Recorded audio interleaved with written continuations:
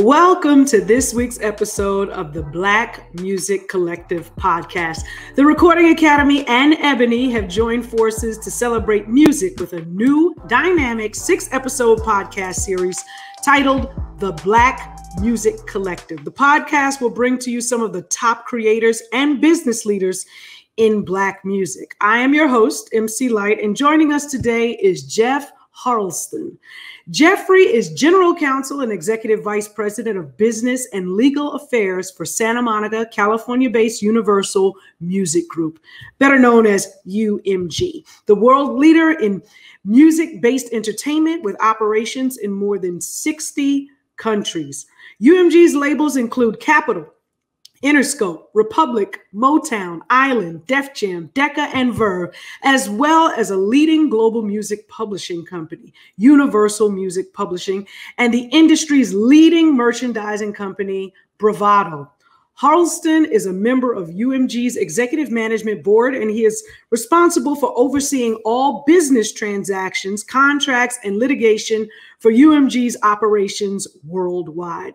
In addition, he is also responsible for the company's government relations, trade, and anti piracy activities. Oh my goodness, Jeff, you are so busy. I can't even believe you have time to talk to me. It is nice to see you today. How are you doing? I'm doing very well, Lyte. Thank you so much, and it's an honor to be here with you today and, and be able to share a little bit of my of my of my story. Oh my goodness! Let me tell you, with this long list of responsibilities here, I just have to ask you. You have done some of the biggest deals in music. You've been involved with those and considered one of the most powerful executives in the music industry. Can you please tell us how did you get your start? Uh, I my my start was was kind of unceremonious. Um, I was, uh, you know, I went to law school for the for the sole purpose of being on my feet in a courtroom trying cases. That's what I wanted to do. Mm. When I graduated, I went I went to a firm in in uh, in D.C. and uh, practiced for a few years there and, and had a, a, little bit of success. And then I was asked to join the uh, uh, Office of Independent Counsel that was investigating the Iran Contra scandal. Mm-hmm. Kind of like for the young people listening, it was like the Robert Mueller of its day.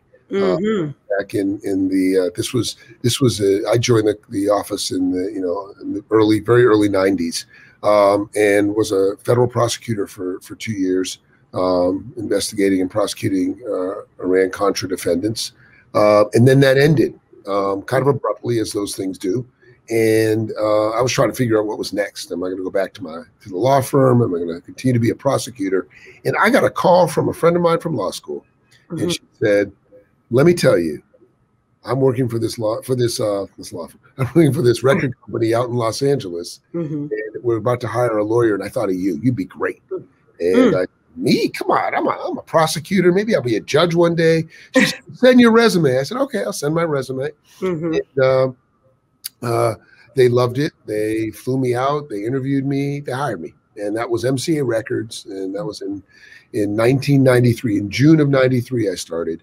Ooh, let me tell you, MCA was buzzing. That's that's around Uptown. Uh, there you go. That was it, that's exactly right. I, I was uh, I came in and and immediately uh, uh started working. Uh, one of the one of the uh, the, the matters that they gave me were a lot of the uptown deals and, and mm-hmm. very close with Andre and and uh, you know the artist Mary J. Blige, you know, Jodeci, Guy, Heavy D. Those are my people. That's that's what yeah. I can do. Yeah. Uh, Jeff Redd. he happened. Jeff to Redd, Jeff Redd.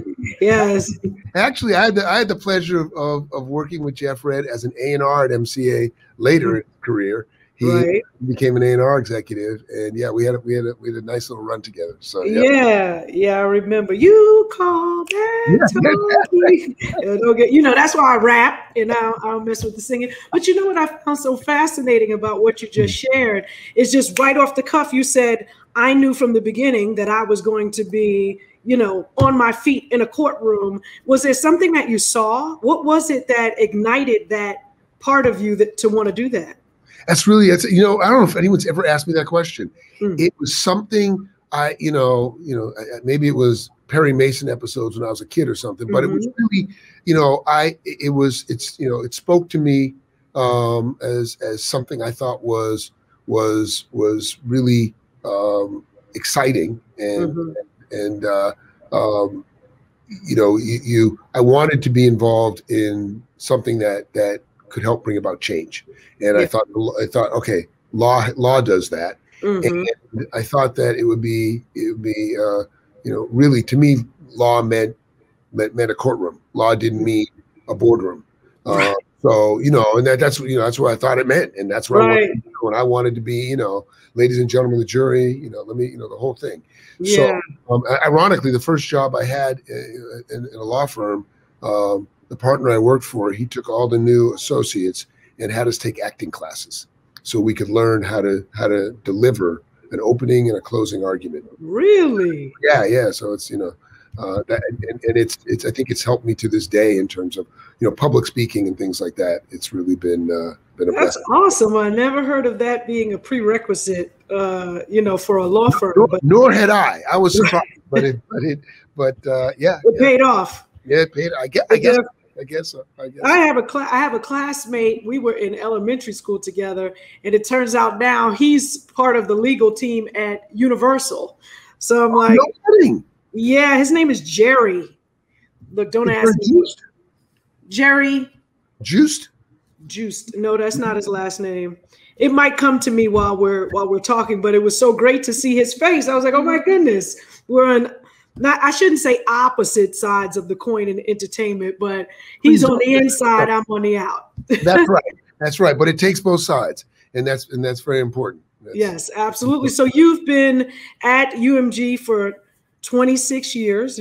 Coming up on 20, 28. 28. Okay, so you have two more. June 1st. Yeah, June 1st was my 28th anniversary. Oh, well, congratulations. You're you're about to hit uh, three decades in a moment. What what do you think is your, you know, your biggest key to longevity and success? Um really it, it, a couple of things. Um first is understanding flexibility. And hmm. and one thing that I I uh, I didn't know when I entered the music business that was a a, a pleasant surprise was the the ability uh, or the, the, the welcoming for those who have kind of you know uh, uh, dexterity in their in their personality and and their uh, you know kind of intellectual pursuits. So mm-hmm. being able to be flexible. you know, when I first started, it was I had probably four or five of the really good years uh, pre Napster before things changed and the disruption and the whole mm. all those changes and and um, what I found was you know when that happened there was suddenly a premium for people who had kind of a, a mind like mine mm-hmm. um, that that you know understood business but also understood the music business and, mm-hmm. and could help um, uh, formulate things and and and to that end, the the you know, probably one of the single greatest um, factors in my career has been some of the people that I've had along the way that mm-hmm. have helped me uh, develop and, and taken taken time, frankly, to help me develop and and and and provided guideposts along the way. When I you know mm. when I mm. walked into MCA Records, I tell everybody uh, who asked me this story. Um, there was a there was a guy there uh, named Ernie Singleton. Yes. I'm familiar with Ernie. Mm-hmm. He was the president of black music. That's right. Say that again. The president of um, black music. Not not something we hear so much anymore. Right. But, but in 93, there was Ernie, and Ernie took me under his wing from the first day I walked in that building. Mm. Helped me find an apartment. I didn't have a place to live. I was living on sleeping on a friend of mine's couch. Mm. Helped me find a place to live. Introduced me to so many people. Mm-hmm. Um, and along with Ernie was was another gentleman named Louil Silas. Mm, yes who was a, a you know famous A&R and a wonderful man. And Lul also took me under his wing. Mm-hmm. And and the third one that really looked out for me was Andre Harrell.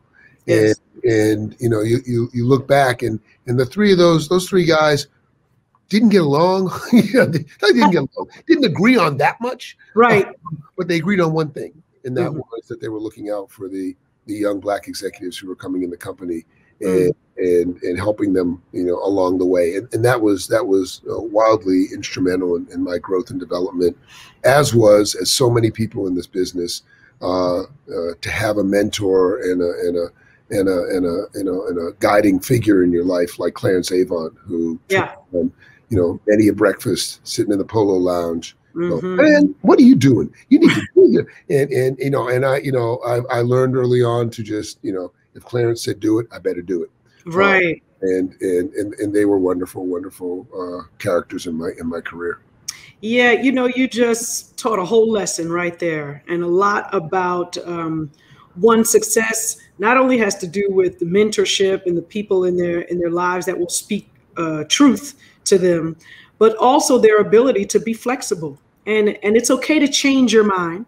It's okay to have you know have been so clear on one thing, but then you come into some new information and that may swing your your decision into another direction so thank you for sharing that with us is there anything you wish you would have known or done differently when you first started out uh if i uh, what yeah it's um i probably would have spoken up more um, I probably I would have been more aggressive. You know, mm-hmm. coming into the music industry as a lawyer, I immediately, you know, when you when you're when you work at a law firm, you're the top of the food chain in that organization. Mm-hmm. But when you come into a, a, a record company as a lawyer, eh, you know, not so much. So, um, and I, I, it took me a while to kind of find my place mm-hmm. uh, and and and and my comfort, um, mm-hmm. and to be able to to you know use my you know you know kind of my training and my knowledge as a strength. Um, uh, but but it was you know it was intimidating. I remember the first time I uh, this is back in MCA. Um, uh, one of the A&R people was like, "Oh, you got to hear this new record." She was so excited. She pulled me in her office and played the record. She said, "What do you think?" I said, "I, I mean, it's okay. It's okay." it's okay. You know, I was like, oh, guy, I shouldn't have said that, huh? So, you know, I had to learn the etiquette um, and, and, and learn how, how to deal with that. But, but um, that was, you know, that was one of the things that, that, uh, that, uh, you know, came with time. Um, mm-hmm. and, and, I probably, you know, would have, you know, it, it, was something that, that uh, it took me really a couple years to start to feel comfortable and, and, mm. and, you know, and, and figure out the business and figure out, the ways of, of, of the industry and, and and then once I figured it out, it's like okay, now I can I can navigate a little bit more, um, uh, which I did. Yeah, feels like, uh, and then just learning the people around you how how to be most effective with your communication. Um, That's right. And what, what's interesting is what you said about the three wise men is that mm-hmm. they didn't necessarily agree with one another, but one thing they all had in common was you, and you and all of the other young executives coming into the business. I, I actually had a story with Andre Harrell. You know, he was trying to get me to come in to be an A and R while he was at Motown. And I went up there to talk to him, and he had all of these people up in the office with this young energy looking for that yeah. next hit and that next artist. And you know, me, I need to be a little baby. Say, okay, are we really doing this, or I'm just coming to hang out? And right. so, uh, um, but he definitely looked to pour into me every time he saw me and you know blessed me with with some knowledge. So thank you uh, for sharing that. I'm going to give our sponsors a little shout out here and then we'll get back to some questions. P&g sponsored this series and they did so because of the importance to them on focusing on black creatives. They have recently started a new program that aims to broaden the way black people are portrayed in advertising and entertainment through an increased investment in Black directors, actors, crews, and media. Let's take a look at this clip.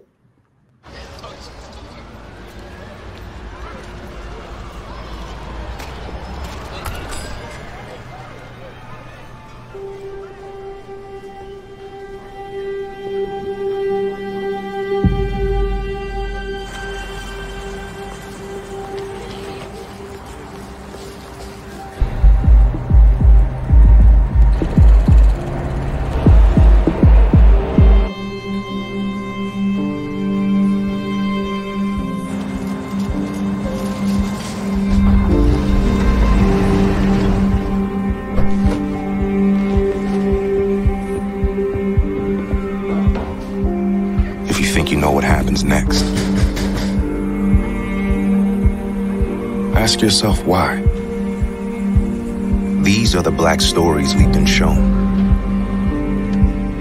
A narrow view that limits our understanding.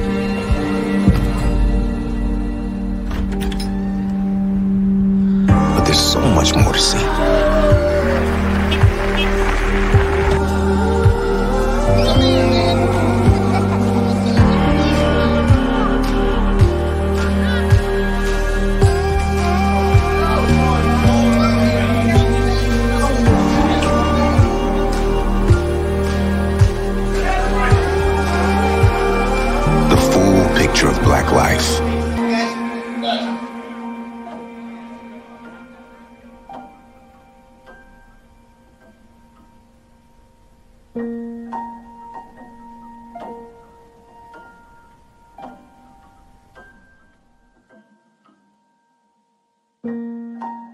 Let's widen the screen so we can widen our view.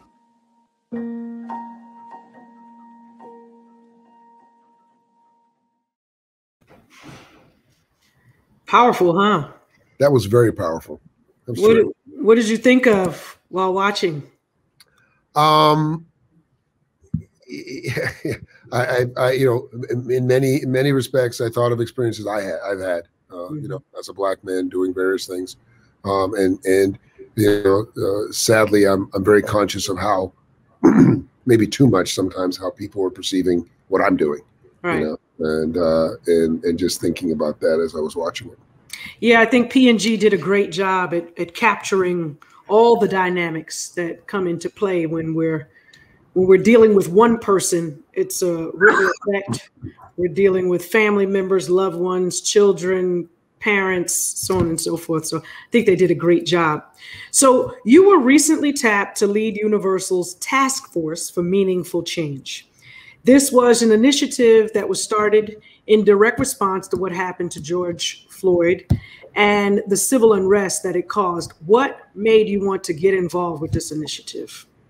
Um, well, I was I was actually I received a call uh, that Saturday. There was that weekend after you know the the, the Floyd uh, murder had had been had been you know kind of come into full blossom, and I, I received a call that Saturday from uh, uh, Sir Lucian Grainge, chairman of Universal, um, asking me to to lead the task force.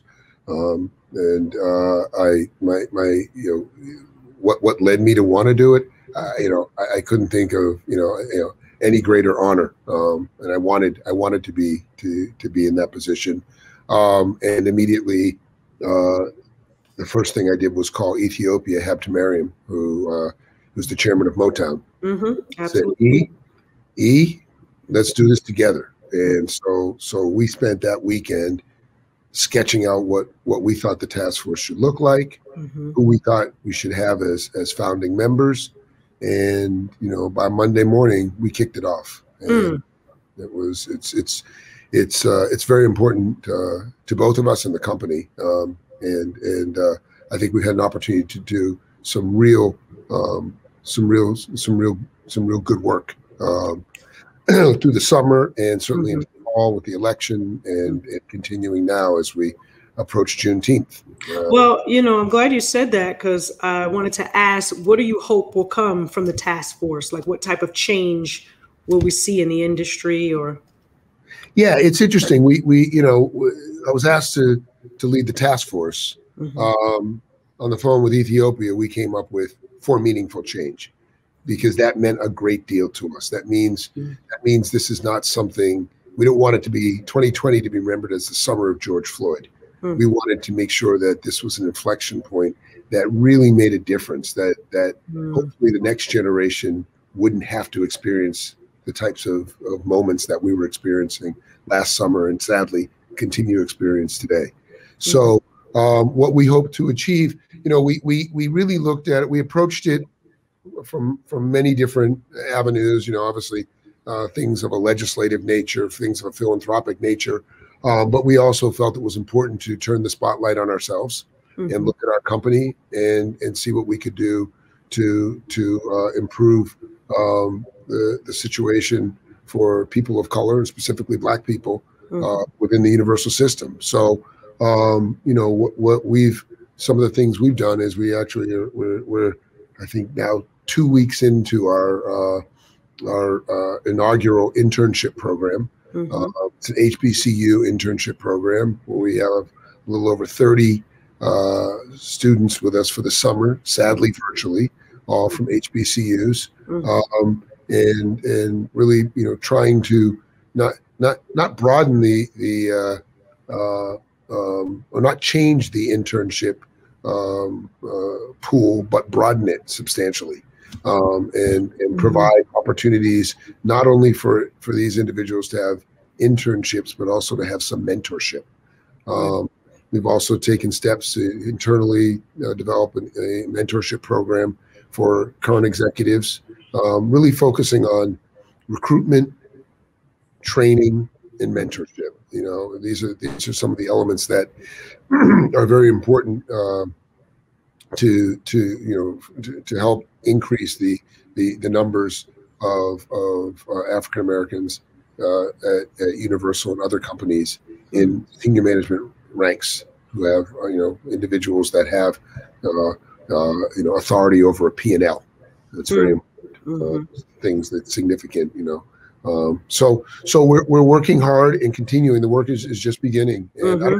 I there was a a report that came out recently. I think it, I, I, read about it today. Maybe it came out yesterday uh, from the USC Annenberg School that did a study uh, around uh, uh diversity and and uh, uh, within the music industry. Not just looking at labels, but looking at labels and managers and lawyers and, mm-hmm. and promoters and and you know it, it's it, you know the, the, the conclusion you know is, is very clear that there's still a tremendous amount of work to be done.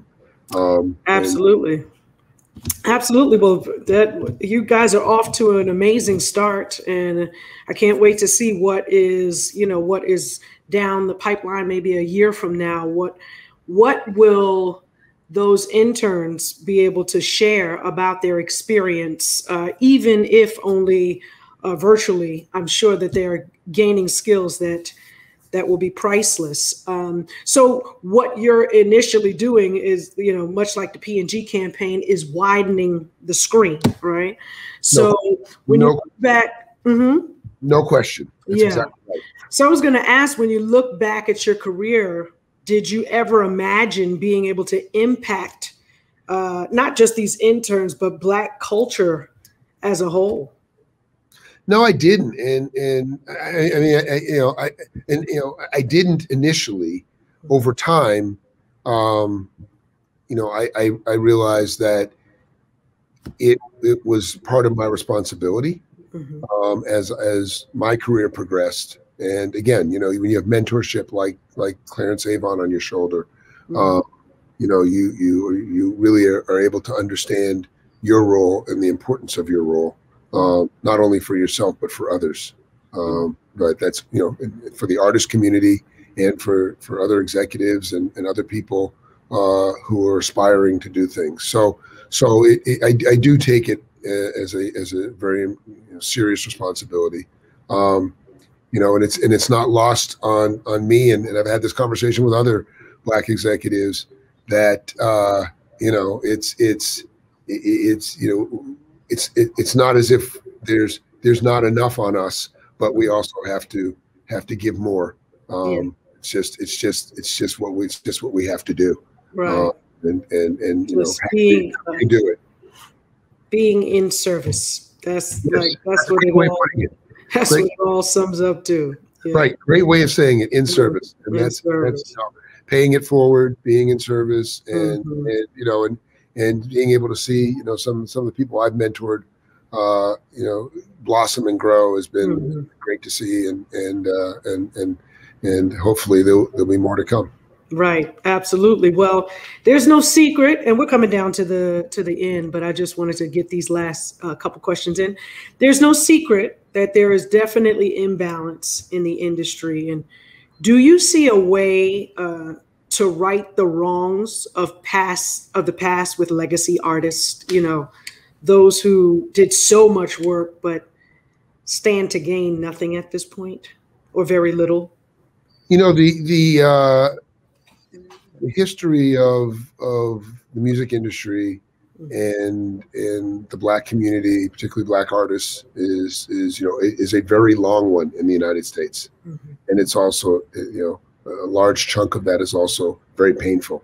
Mhm. Um, and and looking back at it, um, th- there are there are many lessons to be learned um, from from uh, the the the historic treatment, and I think there are there are a number of of of, uh, of ways to not only recognize but but uh, um, you know uh, learn and, and build from from uh, from the past. You know, an organization I've been involved with for a long time has been the Rhythm and Blues Foundation, Mhm. uh, where where uh, you know I, I was helpful and instrumental in, in creating a fund with Universal uh, to help uh, the Rhythm and Blues Foundation really exists to help uh, rhythm and blues artists. Uh, initially, it was from the 40s, 50s, and 60s. Now it's 70s and 80s. Mhm.